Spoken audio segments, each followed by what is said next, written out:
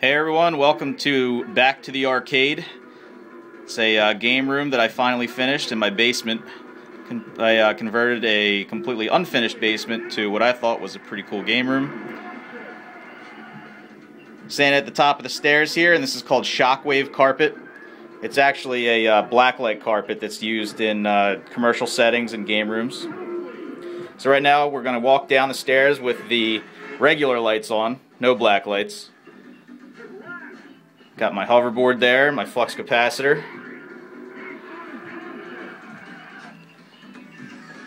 And here's the game room. Got a Back to the Future pinball machine.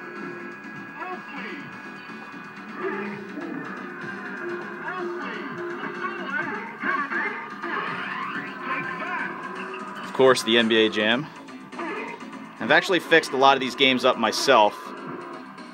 I bought this one with a busted monitor. So I learned a little monitor work on this one.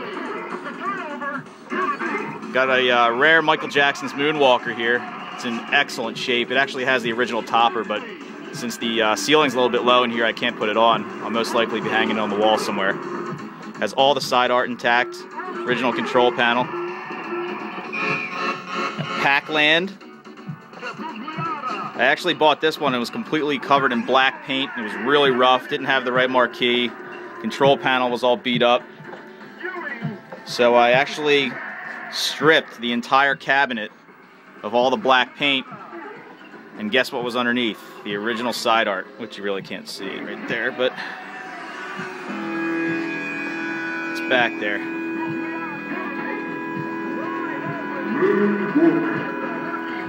Got a tapper that's out of commission over here, Budweiser tapper. That might actually get worked on today. That'll be probably one of my next restoration projects. Got a Legend of Zelda blanket here. Kind of doubles as a room divider. And a super rare haunted castle. If you guys know what Castlevania was when you were a kid, or when you were younger, depending on how old you are. This was the first Castlevania game released in the arcade.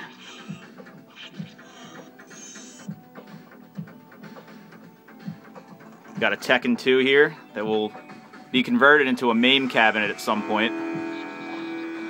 It's kind of uh, in progress here. The monitor's not hooked up and the control panel's not finished yet. This Pac-Man I actually uh, built myself. I found an old Pac-Man cabinet that was totally beat, put brand new graphics on it, cleaned it all up, brand new control panel, new monitor, put a multi-cade in it, 60 in 1. As Miss Pac-Man with the speed up chip.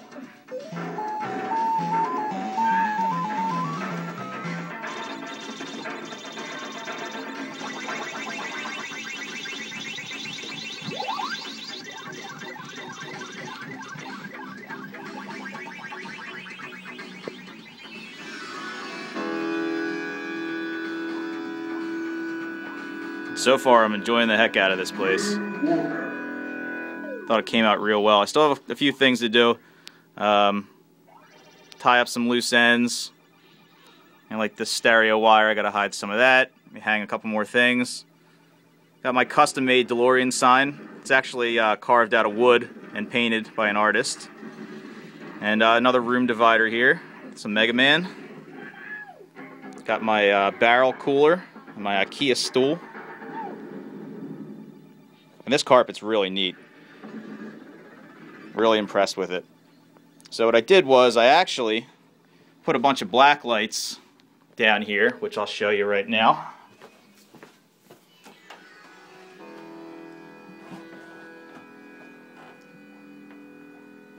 And it glows really nicely. So I kind of hit a few underneath ceiling here. Close the carpet and your socks, really nice.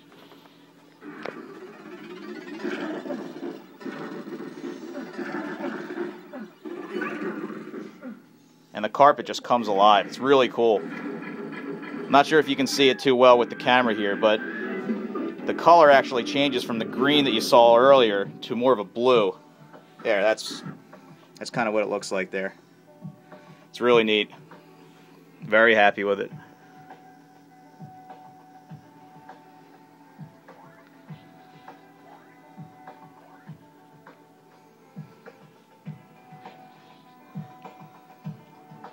So for a small game room, I packed in as many uh, arcade and pinball machines as I possibly could. And here we are.